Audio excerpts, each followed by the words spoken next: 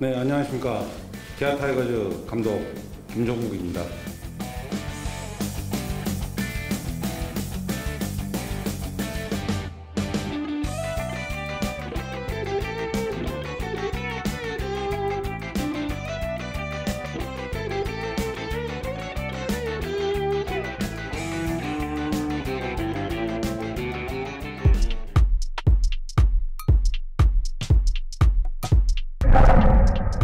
네, 안녕하십니까.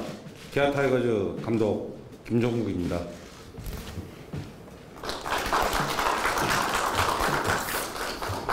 제가 한 30년 가까이 이 한 팀에 몸담고 있는데 이 기아 타이거즈라는 최고의 명문구단의 사령탑에 올라온 것, 사령탑에 올랐다는 것이 정말 저에게는 무궁한 영광입니다. 그리고 뭐 동시에 엄청난 책임감도 많이 느끼고, 느끼고 있습니다.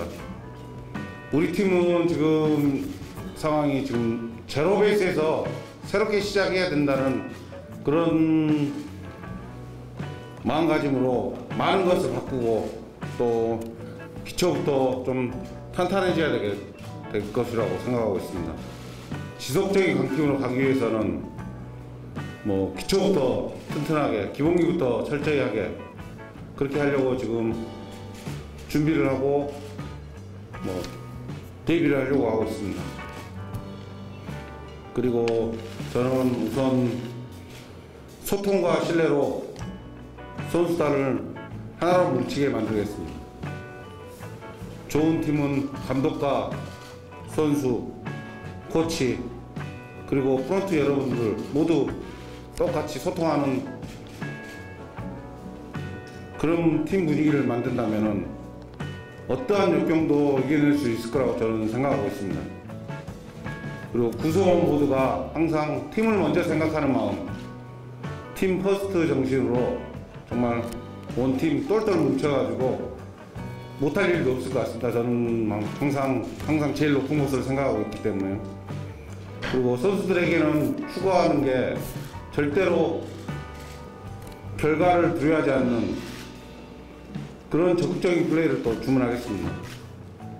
그리고 결과를 미, 미리 걱정하며 몸을 사리는 그런 플레이 그런 플레이하는 선수에게는 또 용납하지 않을 것이고 그리고 또한 모든 선수를 동일한 출발선에서 객관적으로 평가할 것이며 최선을 다해 플레이하는 선수들에게는 적극 기용할 것을 저는 그렇게 생각하고 있습니다.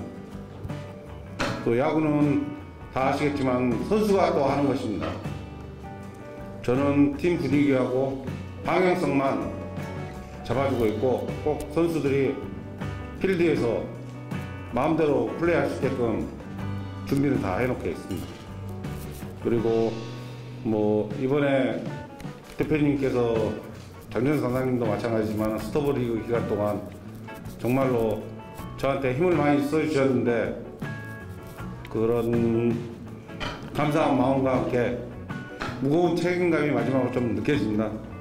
그런 구단의 전폭적인 지원이 헛되지 않도록 타이거즈 팬 여러분 열망과 함께 음, 기대에 보답하도록 최선을 다하겠습니다.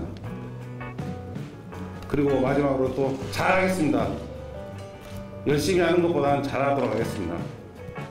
2022 시즌에는 반드시 포스트 시즌에 진출하도록 팬 여러분들께 뭐 즐거움을 드리고 꼭 우리 기아 타이거즈 팬 여러분 뭐 가슴이 뛰는 그런 시즌이 만들도록 또 잘하겠습니다.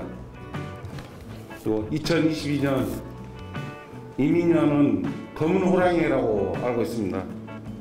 여기 계신 모든 분들 호랑이 기운 많이 받으시고 올해를 꼭 기아 타이거즈 해로 만들겠습니다. 감사합니다. 네, 감사드리겠습니다.